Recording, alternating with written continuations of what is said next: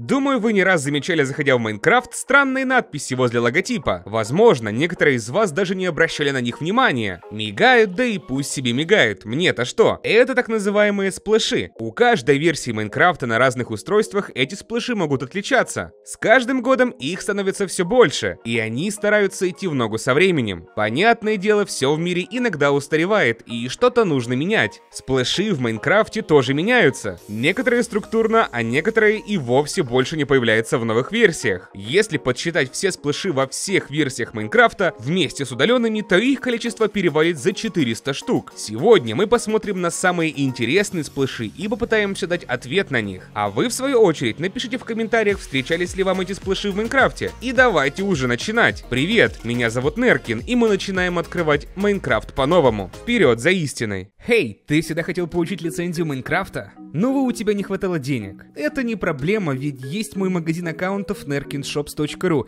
Здесь вы найдете три типа Майнкрафта. Это стандартный, премиум и с полным доступом. Сейчас действуют скидки. После покупки ты сможешь играть на своих любимых лицензированных серверах. Также у нас есть множество способов оплаты. В общем, ссылочку найдете в описании. И не отказывай себе в удовольствии, ведь можно получить так много, отдав так мало. Начнем, наверное, с одного довольно редкого сплэша. Это точка пати скобки восклицательный знак. Появилась она в версии 1.3.1 и отсылает нас к одноименной вечеринке Маркуса Персона в честь того, что он купил себе особняк за 70 миллионов долларов. На этой вечеринке было очень много звезд, но примечательно то, что ни на одной фотографии с вечеринки нету его команды. Вот такие дела.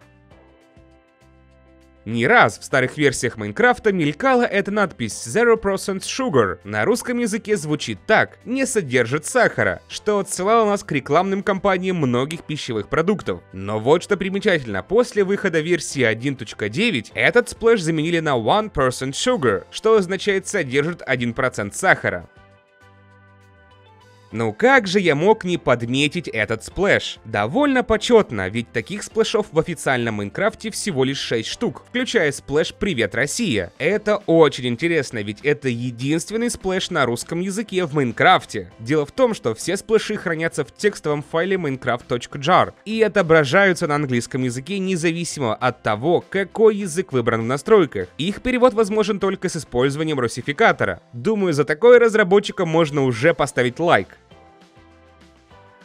Несмотря на все ссоры и споры игроков, что же лучше, Майнкрафт или Террария, сами разработчики не против подстебнуть друг друга. Именно под таким предлогом подколоть разработчиков другой конкурирующей игры 9 сентября 2011 года в Майнкрафт был добавлен новый сплэш Also Try Terraria, что в переводе означает «также попробуйте Террарию». В Террарии все же есть подобные сплэши, но только отображаются они в рабочем окне приложения при оконном режиме. И ответ от разработчиков Террарии не заставил себя ждать и они добавили сплэш в виде террария Also Try Minecraft, что в переводе означает террария, также попробуйте Майнкрафт. А если вы хотите узнать, что же лучше, Майнкрафт или террария, то советую посмотреть видео по подсказке в правом верхнем углу.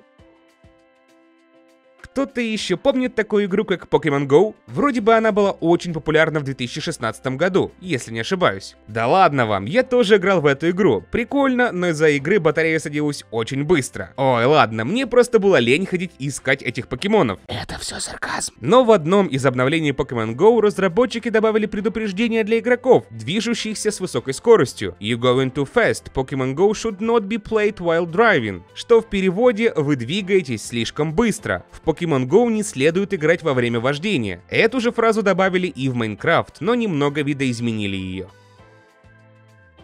7 июня 2017 года свет увидел новое обновление под названием World of Color Update, в котором добавили очень многое, но в том числе и нового моба, а именно попугая. На самом деле он появился еще в снапшотах к этому обновлению, и попугая можно было приручить с помощью обычного печенья. Взрослые игроки Майнкрафта на Reddit начали негодовать и просить у Можинг, чтобы они заменили печенье на зерна пшеницы, аргументируя это тем, что молодые пользователи, увидев, что можно кормить птичку печеньем с шоколадом в Майнкрафте, начнут это делать в реальной жизни. Хотя птицам не стоит есть много сахара. Джеб сразу же отреагировал на это, сказав, что так рассуждать глупо. И изначально была отсылка к песне Нирвана Полли, где есть строчка «Крошка Полли хочет печеница». Но все же под натиском фанатов в релизной версии заменили печенье на зерна пшеницы. Но все же оставили возможность кормить попугая печеньем. Но после такой трапезы попугаи отравлялись и умирали. Также Джеб добавил новый сплэш Don't feed chocolate to parrots, что означает не кормите попугаев шоколадом.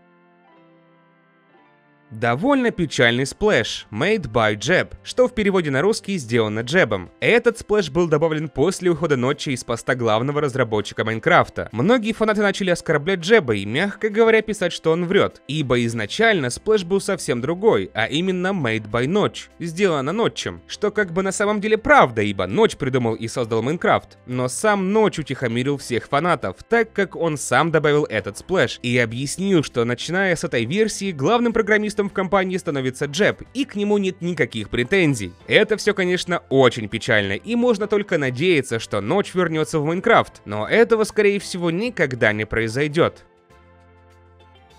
Ух, очень длинный сплэш. This message will never appear on the splash screen. Isn't that weird? Что в переводе на русский это сообщение никогда не появится на экране. Странно, не правда ли? Несмотря на всю противоречивость, этот сплэш все-таки появится на экране, но с очень маленьким шансом. Но самое важное, этот сплэш единственный сплэш в Майнкрафте, который заканчивается на знак вопроса, а не на восклицательный знак.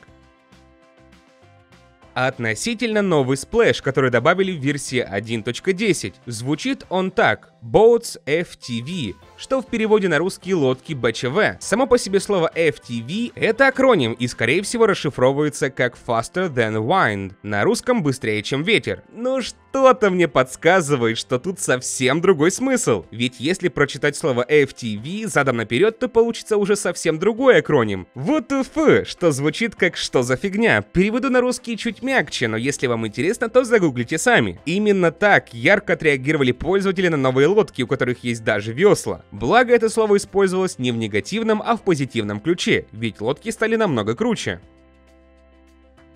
Как по мне, одна из самых тематических отсылок в Майнкрафте. Дело в том, что сплэш Falling with Style, что в переводе на русский «падение с размахом», является отрывком из фразы «это не полет, а просто падение с размахом», сказанной Вуди о Базлайтере в истории игрушек. Этот сплэш появился после того, как элитры были добавлены в игру, в одном из снапшотов. И черт побери, это же гениально, ведь все люди подумали, что элитры — это равноценная возможность полета в Майнкрафте без читов. Хотя если подумать, то это не полет, вперед, а действительно медленное падение с размахом. Иногда в отсылках можно найти очень много скрытого подтекста. А теперь давайте поговорим про некоторые удаленные сплэши, которые уже никогда не появятся в Майнкрафте, но их можно найти в старых версиях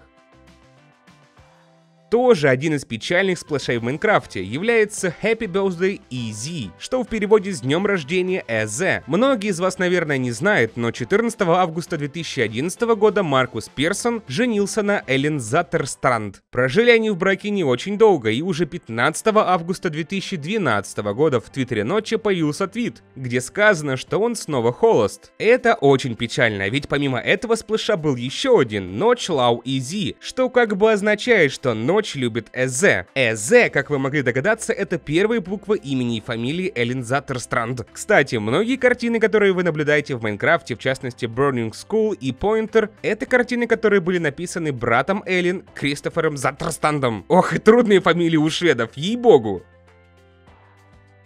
Нотч по сей день является участником пиратской партии Швеции. Это политическая партия, выступающая против существующего законодательства в области интеллектуальной собственности, патентов и копирайта. Вопреки распространенному заблуждению, партия не выступает против авторских прав вообще, а лишь хочет разрешить неограниченный некоммерческий обмен объектами авторских прав, сохраняя запрет на коммерческий. Кроме того, партия выступает за защиту приватности в сети интернет и в повседневной жизни. Если Если перевести сплэш на русский, то получится «SOPA» означает «неудачник» по-шведски. SOPA – законопроект, согласно которому любой участник деятельности в сети интернет, начиная с провайдеров, поисковых систем и даже рекламодателей, обязан по любому обращению правообладателя прекратить предоставление услуг ресурсу, обвиняемого в пиратстве, и прекратить с ним любое взаимодействие. Этот закон нарушает поправку Конституции США, вводит цензуру в интернете и ограничивает свободу слова и возможности развития интернета. Что-то знакомое, не находите? На этом все интересные удаленные сплэши в Майнкрафте заканчиваются. Вдруг, если я пропустил какой-то интересный сплэш, то напишите его в комментариях, возможно накопим на вторую часть. Да и в целом ролик подходит к концу. Надеюсь, я пролил чуточку света на сплэши, на такую, как казалось на первый взгляд, незаметную и неинтересную штуку. Ведь, как говорится, хочешь спрятать хорошо? Положи на самое видное место. Если хотите продолжение, то смело ставьте лайк и напишите про это в комментариях. Любите маму, ставьте лайки и оставайтесь здесь на подольше. Можете также скинуть это видео друзьям. Напишите, о чем вы еще хотели бы узнать, и я постараюсь сделать про это видео. Не забывайте читать описание. Жду от вас подписку и включите колокольчик. Можете также нажать на ролики, которые видите на экране. Они тоже очень интересны. Гарантия удовольствия. Если нет, мы вернем вам просмотр. А пока на этом все. Меня зовут Неркин, и помните, что мы открываем Майнкрафт по-новому. И еще услышимся. Ёбаный в рот, я записывал.